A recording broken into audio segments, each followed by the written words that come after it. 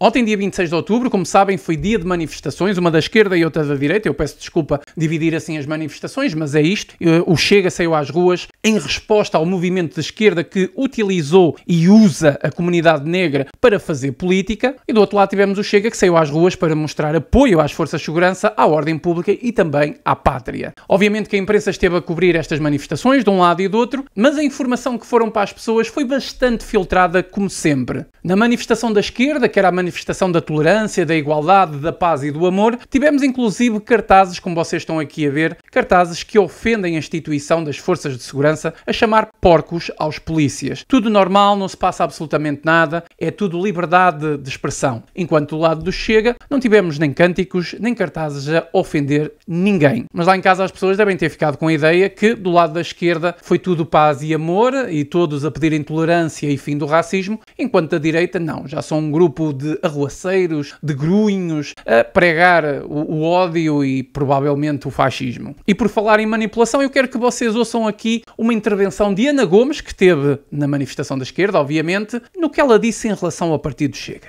democrática. Como é que vê ter sido organizada uma manifestação pelo Chega à mesma hora, no mesmo ponto? Obviamente, com um intuito provocatório. Esta é uma força que efetivamente uh, está na associação criminosa. Eu fui uma das pessoas que chamei a atenção e que fiz uma queixa para o Tribunal, para a Procuradoria-Geral da República, de que não era possível ter legalizado um partido como este, que tem intuitos claramente racistas e violentos, que quer um, semear a divisão na sociedade portuguesa. E estamos a ver pelos pronunciamentos deles nos últimos dias.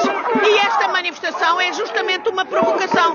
Pois é, Ana Gomes saiu do MRPP, mas o MRPP nunca saiu de Ana Gomes. Ana Gomes insiste que é preciso ilegalizar o Chega e relembra aqui que foi uma das pessoas que chamou a atenção do Tribunal Constitucional. É preciso relembrar que Ana Gomes quer hoje silenciar cerca de 1 milhão e 200 mil pessoas que votaram no partido Chega e que elegeram 50 deputados. Não estamos mais a falar de um partido com um deputado único. E mesmo que estivéssemos a falar de um deputado, o Tribunal Constitucional legalizou o partido, o partido está legalizado e em funções e ponto final. Mas a esquerda, a resposta deles é censurar, é prender e, no fundo, destruir publicamente a figura pública de alguém. Neste caso, querem fazer isso neste momento exato com André Ventura e também Pedro Pinto. Outra coisa muito engraçada foram as perguntas dos jornalistas, não é? Do lado do Chega, sempre perguntas de forma negativa, a tentar eh, combater aquilo que era dito. Do lado da manifestação da esquerda, perguntas afirmativas e perguntas fáceis para, obviamente, cair em cima do Chega e fazer e consertar ataques políticos ao partido Chega, como foi a pergunta desta jornalista. Ana Gomes é simplesmente uma insignificante extremista, só que estas pessoas têm algum poder, porque eu relembro que nas últimas eleições presidenciais esta fulana ficou em segundo lugar. Em segundo lugar. Vejam só, uma pessoa extremamente radical ideologicamente ficou em segundo lugar nas eleições presidenciais. E mais, e mais, tem um espaço de comentário político em horário nobre na SIC.